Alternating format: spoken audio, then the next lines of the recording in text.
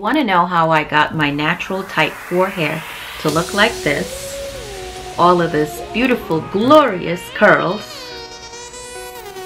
then stay tuned.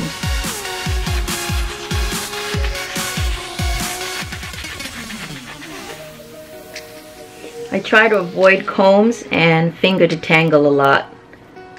So if you do this really well, you can avoid combs and avoid breakage. So before every protective style, I always make sure I moisturize my hair really well and my scalp. Um, and I also always trim my ends. So there's still a little bit of shrinkage, but I did trim the ends. So we are ready to tame the beast and braid her all up. I always leave a leave out in front because I think it makes it way more natural. So just a thin layer in front. Around the perimeter. Which I'm going to uh, flat twist to keep it out of the way while I braid the rest of the hair. So about a finger breadth, about the width of my finger. That's how little I leave out.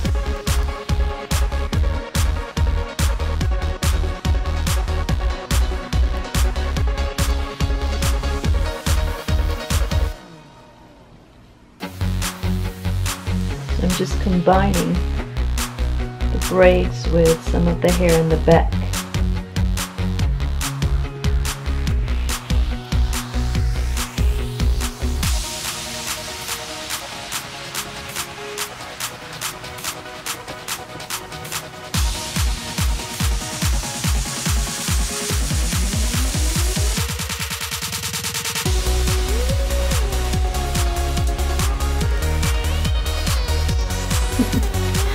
So finally finished doing my hair, braiding it. Now all of this is pretty much either leave out or the braids themselves that I'm going to pin down. Um, you can either, you know, crochet them down or you can sew them down, your choice. I usually just crochet it, um, weave it in the back. So let me show you.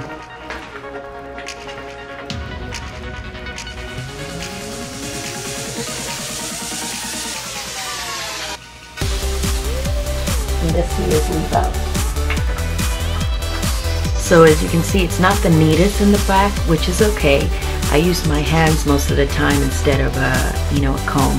Yeah, but so number two, and it came um, with the three, and it was only $11.99. Can you believe that? $11.99, so it's really affordable. So I'm just gonna take it out. And hopefully I'm not going to use all of it because I feel like that would be a lot of hair. Even though I know there are some people who use three, even four packs of hair. So, just going to cut it. Take it off the packet. Okay. You can just put these directly in your head. You don't have to brush it out or separate it. I did another video um, a while back on my other channel, Kenton and Habiba, where I installed Marley braids, but I would separate them into smaller pieces. I'm still gonna separate them when I get to the front because it makes it a lot more natural. But for the back and the middle, I'm just gonna put it in right as it is. So it's really easy. One pack of hair so far looks like.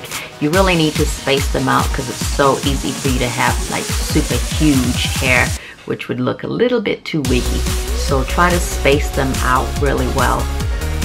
But this is one pack.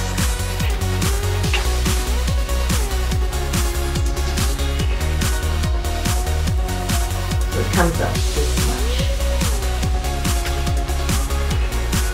much. Okay, on to the next. So far I have two packs of hair in. Whoa. As I get to the front, I'm gonna go ahead and cut the ends, like I said before. And then I'm going to separate the pieces so that they are a lot thinner and more natural towards the front. So there you go. And go ahead and insert this in the front. right there. Again, put the hook in, attach the hair, close the latch, pull it through.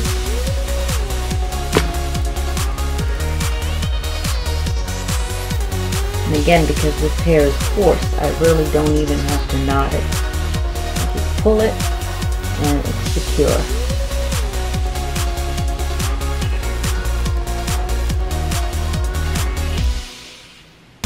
The leave out, I tried to closely put as many of the uh, crochet braids as possible. Okay, my husband was like, whoa, what is that? So I'm gonna have to go in and just trim it a little bit. Trim it, just taper it just a little bit. It's a little heavy. Um, I mean heavy looking, but it's actually very light. This hair is super, super light. Um, really light. So I like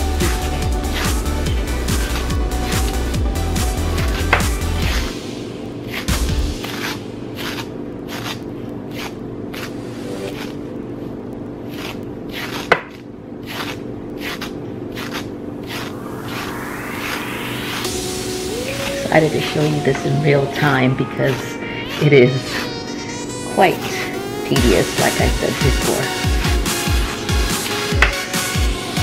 Paddle brush would also be ideal.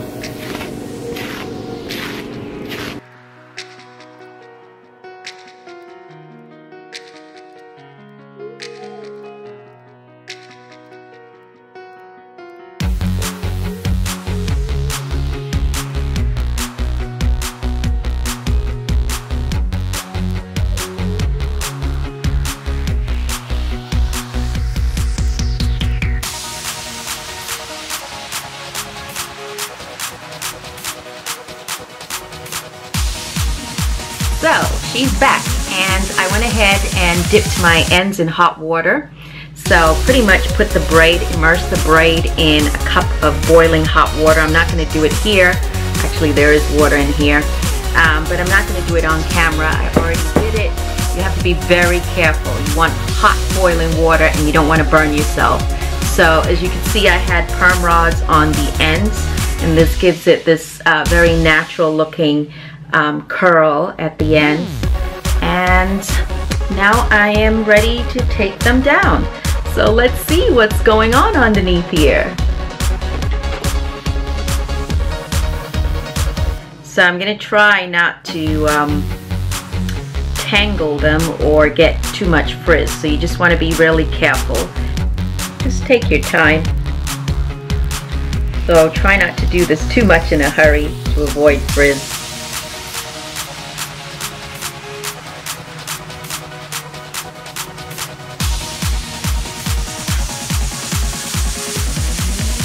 Carefully undo my leave out, which if you've um, tightly twisted it, you know, flat twisted it, it will blend in perfectly.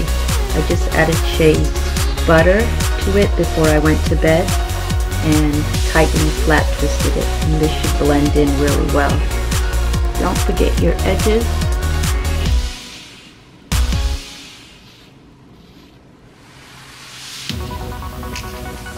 here's the final look.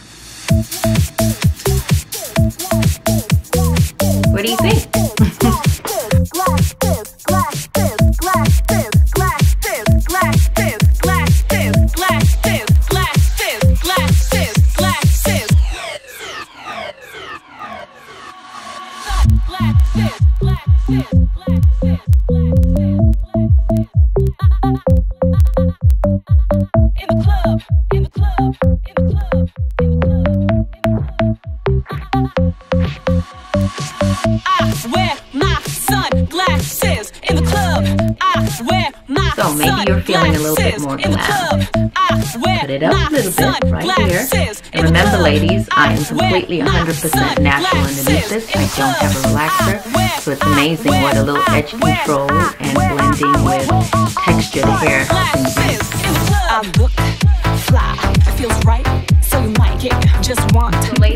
hope you were inspired by this tutorial. Um, it's not hard to do. It is a little bit time consuming, but it is so worth it. And I hope you really enjoyed it. If you did, please go ahead and give me a thumbs up. And I hope you subscribe. I will try to bring you uh, more hair videos more often. Uh, if not with my hair, um, then with my daughter's hair, with extensions, with weaves, with braids, all of that. I love it all. So um, I hope you come back soon. And again, thank you so much for watching. God bless.